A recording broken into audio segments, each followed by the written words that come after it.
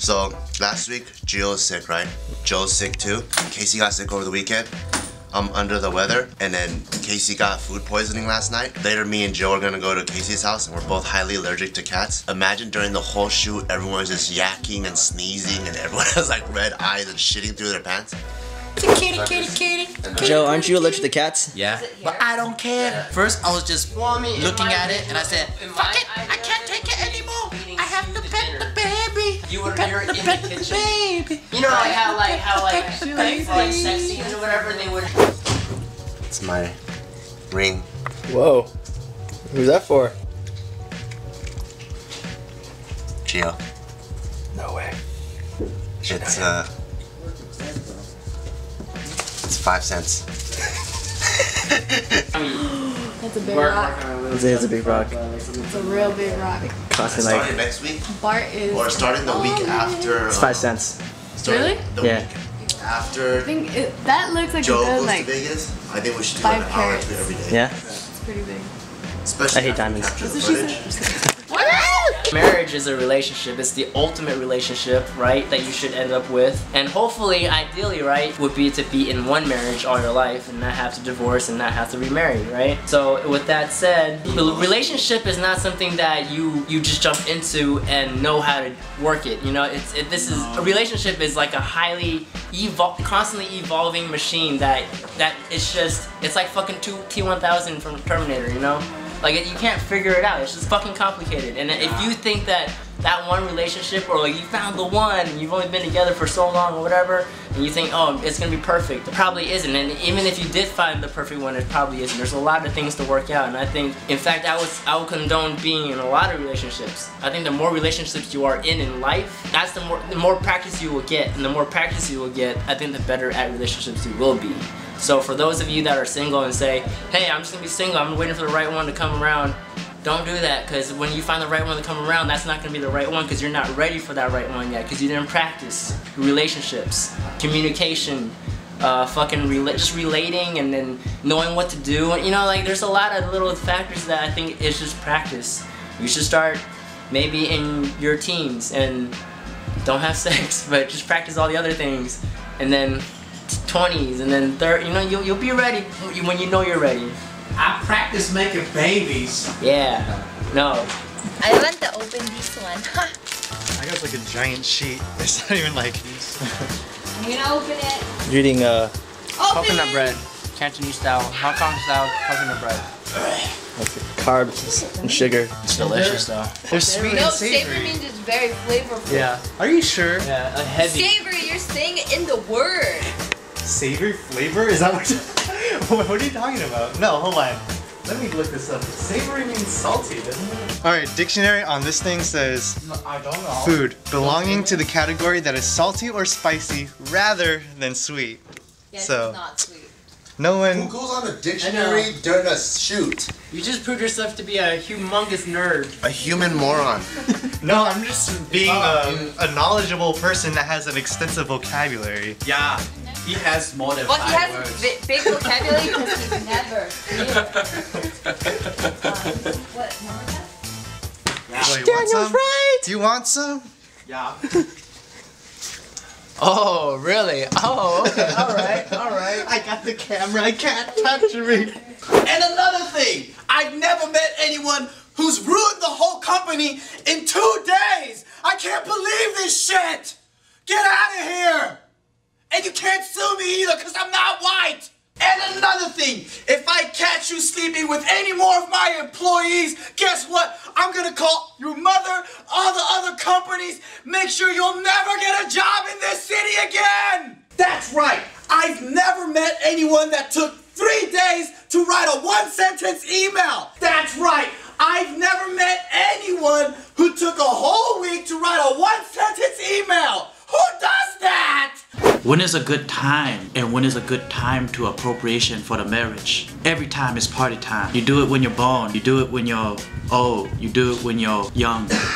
You marriage everybody, anytime, any place, romance for the dance. When it's appropriate for them, that's when it would be the right time. I can't be the time judge of when you should be married because it's not up to me, it's up to you. One time, I proposed to a girl in elementary school because I didn't want to be her boyfriend. I wanted her to marry me. So I got married at a very young age. Now, I don't know if we got officially divorced because I never seen her after the third grade, but that's what happened. Marriage I don't know. I, I never really put any deep thought into it. It's just uh, because right now I'm not at the time and place in life to be thinking about it seriously. I mean, eventually, maybe one day I will. Maybe I won't ever. But when the time comes, that's when I'll seriously put some thought into it. But as of now, I'm too busy making y'all motherfuckers laugh.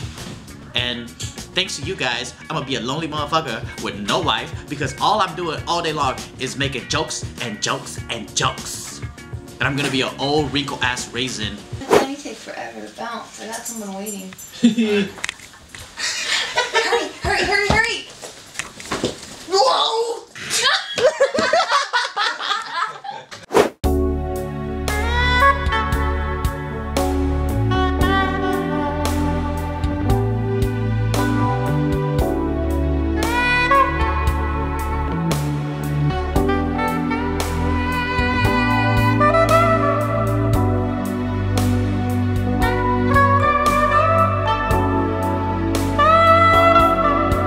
Black guy.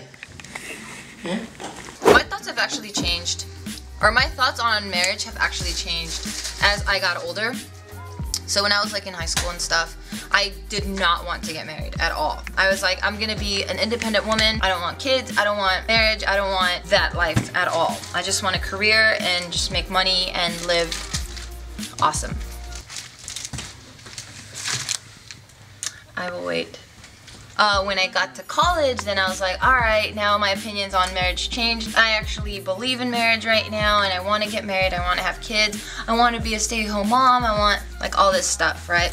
But now that I've been doing JK and I've been like, you know, uh, I have like my own like business now that it's I want kids and I want marriage and stuff, but then I'm like, but I also want to see how my business might flourish and where I can take this and like, you know, when you get married, your family and stuff expects you to have kids and whatever, so then you're just like, damn, I think I gotta start pumping out some kids soon. And also, I'm a girl, so we have like a biological clock or whatever, but other than like the biological clock, because I do want kids aspect of it, um, I can really care less about marriage now because it's like, it's just, honestly, it's just a piece of paper that's telling you that okay, the state of California recognizes that you guys can now get some sort of tax dedu- deduction.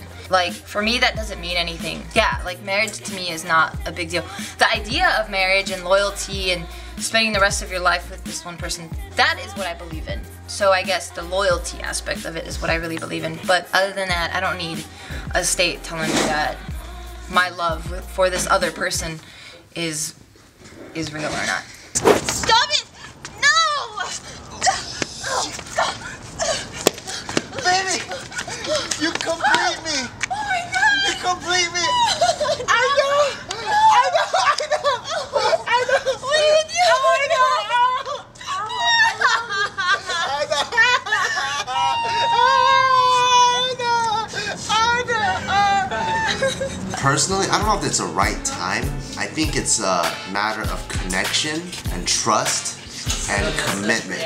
I don't think it's like a lot of people they have like, oh yeah, when I'm 25 I'm gonna get married or like after I get my college degree and I've been in the workforce for three years I'm gonna get married. There's no time like that. Like, what if you finally meet the love of your life and then she breaks your heart, or like, let's say you're you wanted to, you planned for this, but you had a kid early, or your parents like passed away. There's like, there's too many things that are going on. You can't put a specific number on it. Marriage, since you're gonna spend the rest of your life together, I think it's much more of how committed you are.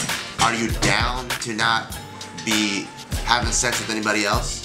Are you down to make your girlfriend or boyfriend your life partner where you're gonna trust them with everything where where you where you can bend over and spread your ass cheeks and show her your asshole and she can do the same to you and you guys can high five about it are you guys down to have joint bank accounts and like you know, like be ride or die like with each other. That to me is if you're down for that and you don't fight over some like junior high shit or like you know like what's more important is us rather than the individual, then I think you're ready. Sometimes people get there in like two months. Sometimes people need like eight relationships and then finally they break up and date two other people and then come back and then it finally works. It's all different. What up, y'all? So the next few minutes you'll be watching is shot by Joe, besides the questions, because I shot the questions. But everything else is shot by Joe, so I don't know what. Just, you can see a bunch of random shit. Day three, still sick, coughing all over the place. Olivia was really nice and like a mom, and she made like this juice for me with a whole bunch of green shit and stuff. So hopefully that'll make me feel better. But yeah, day three, day three shooting. Right, because people just stand there doing nothing. Right, what, what, what are you reading? Now you're being nosy. Just tell me Just- you're a just tell me. That's movement.